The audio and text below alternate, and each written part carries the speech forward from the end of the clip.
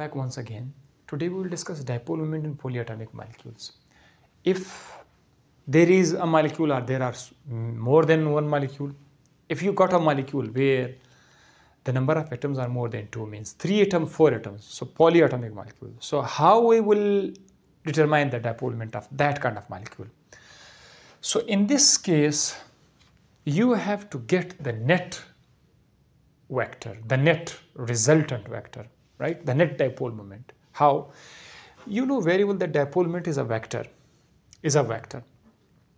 So if a molecule just like water, which is H2O, one oxygen, two hydrogen, it has vector number one, vector number two. There are two vectors. So in this case, how we will get the dipole moment if there are two dipole moments? So we should get one dipole moment we will add the two dipole moments and when we add we will get one single vector. This is a rule in physics.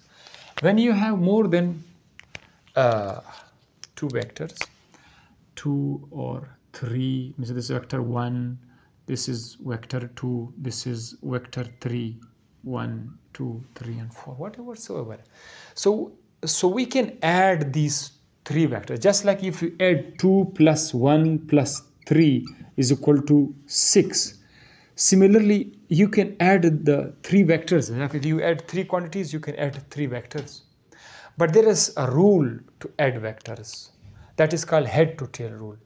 What head to tail rule tell us? That if you want to uh, add vectors, so you will add the head of the first vector to the tail of the second vector, right? You will do this and if you have third vector then the the head of the second vector to the tail of the third and, and so on.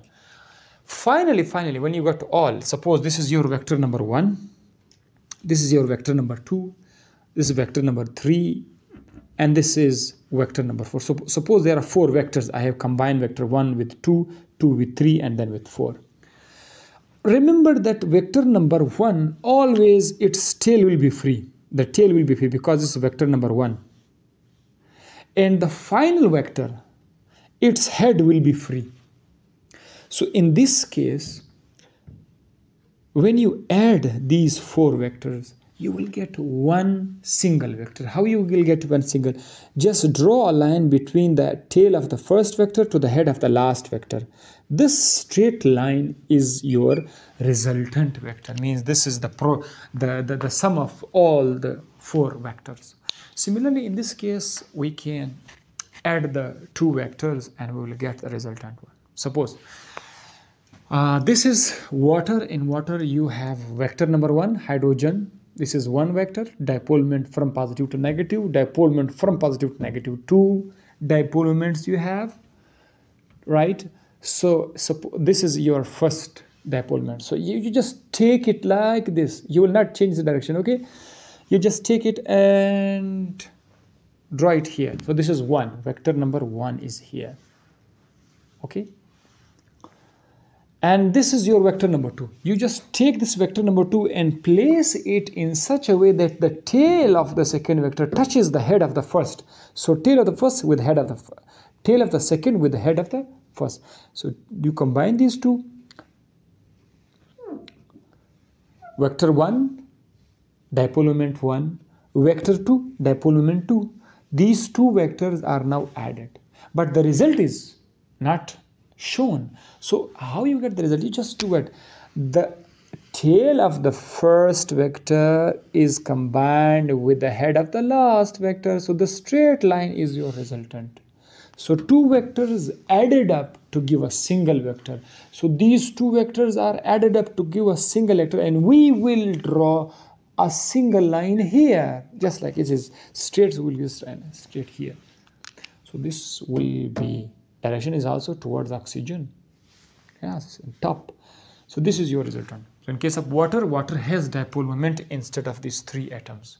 Okay is it possible that every molecule with with three atoms has dipole moment? So the answer is no. There are some molecules who contain three atoms but their dipole moment is zero.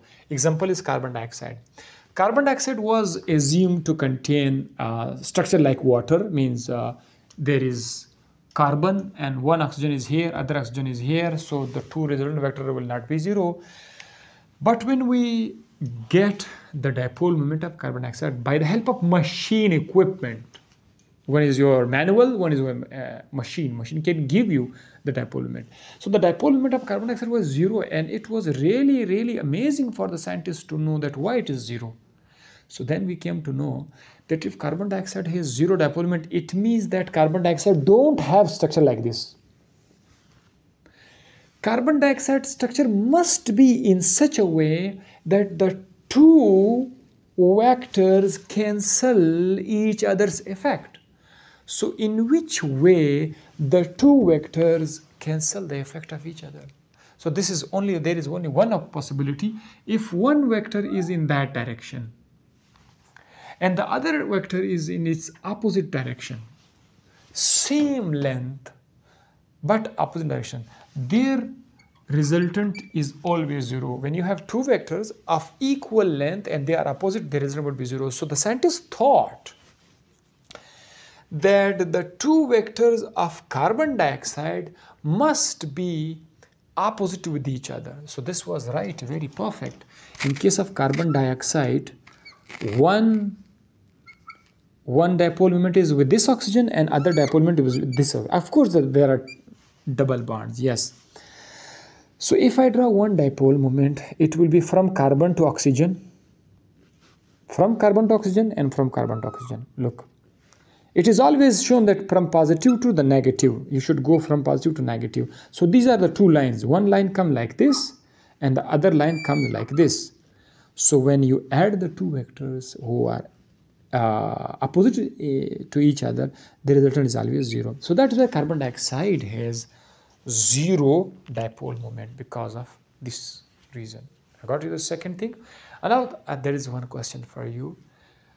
Uh, why BF3 has zero dipole moment? This is a question mark and I'm leaving this on you guys.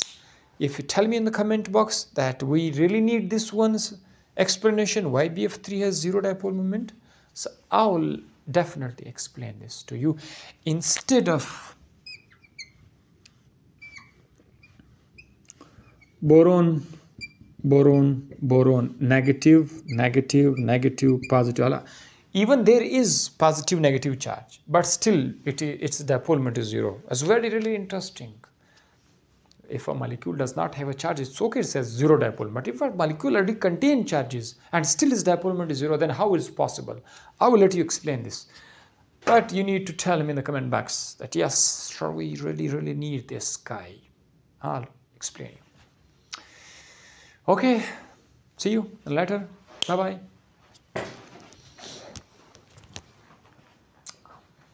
Okay, bye-bye.